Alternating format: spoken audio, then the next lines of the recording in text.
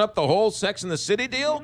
Wait, let's go back to Tremendous. The I first know, one was I know. the Top first 10 one. movie of the decade. the first Sex in the City was one of the best movies of the decade. Okay, now, Jason, I am a huge fan of. Raging Bull, Sex Sex, in the the City. City. Sex in the City, Raging Bull, right there. I wouldn't put that in the top 10. The second I- one, I- not so much. I, I remember the second one being silly. I, uh, to be honest, I can barely remember the first one. Go back, I mean, you'll cry your eyes out. Okay. He leaves her at the altar. Big Yeah. leaves her at the altar. It, was, it, it had it, it had everything. Um, but Okay. but K- Kim Cattrall is the one holding out on this one. That I mean, that's the story. I guess. Yeah. You know, dude, What? She do put we really need another Sex in the City Yes, movie? I mean, yes, Yes, we yeah. We do. don't need a Mission Impossible 17. No. We can go with a number three here. We need a three to make Okay. up for the second one. and the story, go- the, the story goes is is Kim Cattrall is telling Warner Brothers, back some of my movies in in production, and I'll do your Sex in the City. And Warner Brothers said no.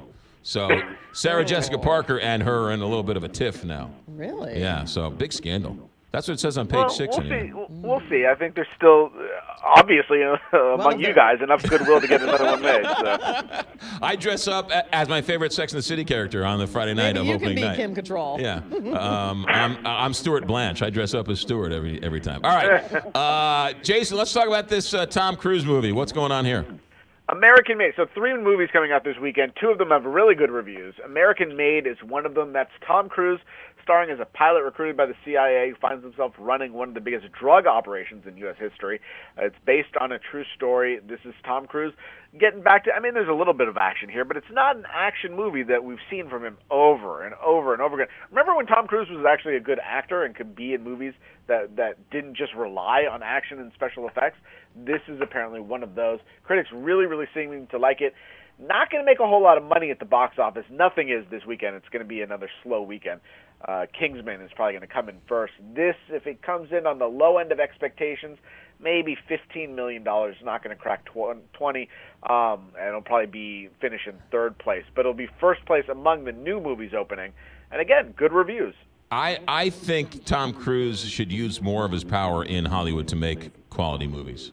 Yeah, I, it's one of the things I just don't understand because we get these movies, and especially with the flop of the Mummy over the over the summer. I hope that was a sign to him that hey, get back to doing quality stuff because he really can do some good, and he's he's likable. You know, it, him and Will Smith, I, I really like both of them, and they both make really poor movie choices. Uh, all right, um, Battle of the Sexes. How's Yes. how's that doing? Is that getting any play? That's the other one that's also getting good reviews. It opened in limited release last weekend. This weekend it moves into wider release. Most of the country is going to be able to see it this weekend um, and getting really good reviews. Again, this is Emma Stone and Steve Carell based on the true story of the 1973 tennis match between Billie Jean King and Bobby Riggs. It was the battle of the sexes. It was all about chauvinism, and I think it, it lends a little bit of uh, there's a little bit of extra something on it this weekend just because of Hugh Hefner just dying. Yeah. and a lot of talk this weekend about uh, chauvinism and the role of men and women and things like that. And in, in the 70s, especially, this fits right in there. It's getting good reviews. Not going to make a whole lot of money. Uh, and there was Oscar buzz on this at some point. That seems to be fading, but people still still seem to really like it. Steve Carell should just live in the, the other 70s, right? Thank goodness the 70s happened. This is now at least his third movie that he's done in the 70s, right? Yeah, and he's so good, and and, like his third or fourth movie in a row with a lot of prosthetics, and you know, just he's really good at being able to change his look. And Emma Stone, you know, does a good job of looking like Billie Jean King as well. So Yeah. Yeah. you know, a lot of fun going on. There. Uh, what do we know about Curb Your Enthusiasm coming back? it comes back on Sunday after six years. The last new Curb was 2011, if you can believe that. So we're getting a whole new season. People are very excited for it. We got the same old grouchy Larry David. The Uh, same he other cast, too?